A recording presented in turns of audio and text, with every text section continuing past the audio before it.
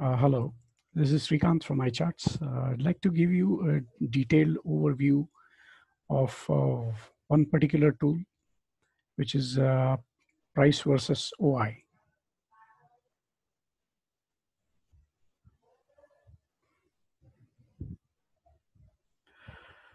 Yeah, you can monitor price versus OI along with IV and PCR in this tool. Also have a VWAP in this. Uh, by default, latest data is selected. So the latest trading day or the current trading days data is displayed. And by default, the nearest strike to the current price, the ATM uh, strike is going to be displayed here. You can change as per your requirement. Uh, so whatever call strike you select here is displayed here and whatever put strike you select here is displayed here. And by default, PCR is not displayed. You can click here to display the PCR line. Same for here. If the strike price is same, because this, this particular PCR is uh, the PCR for this particular strike. So you need not enable it here because it's, it's going to be the same. Only if you're, you're selecting different strikes, then this PCR is going to be different. This PCR is not uh, the overall PCR for Nifty, but as I said, it's a PCR for this particular strike.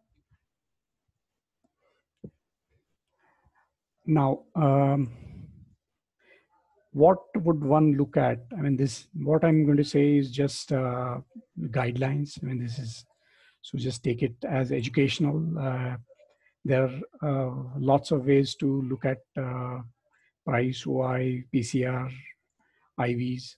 So this is just what uh, I know and I've learned. So I'm just going to give you some information about that. Uh, what I would do is uh, once uh, the market opens, I would uh, first try to determine uh, the bias of the market, which side the market is tending to go to.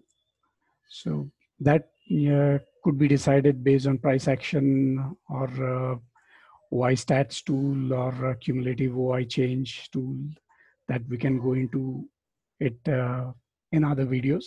But once the bias is decided, then probably you could say you come here and start to look at uh, where the price is, this particular strike now, where, how it's acting relative to VWAP would be the first thing I would check.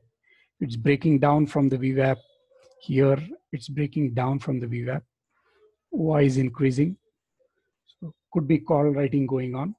PCR confirms this the trend of PCR. I would look at keep looking at trend of PR, uh, PCR because uh, basically it's put call ratio. So if if it is increasing, then the put writing is increasing or the call writing is uh, unwinding is going on. So here PCR is falling. It means uh, either uh, the puts are getting uh, unbound or put unwinding is going on or call writing is going on. Here obviously since uh, uh, call OI is increasing sharply, that means call writing could be going on.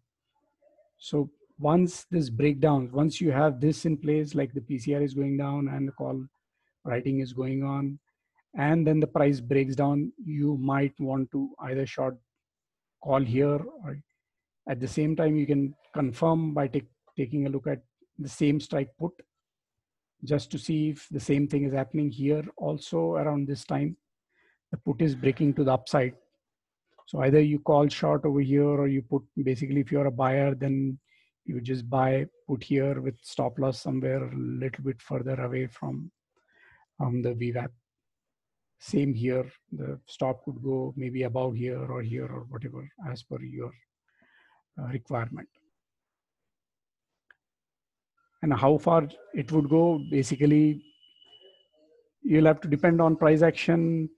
PCR also, when it starts to flatten out, you could take a look at that. Maybe the move is over you'll have to decide that uh, on price action or just have target somewhere because this is intraday trading. So just take your profits and go out or uh, take partial profits based on targets and then trail or whatever.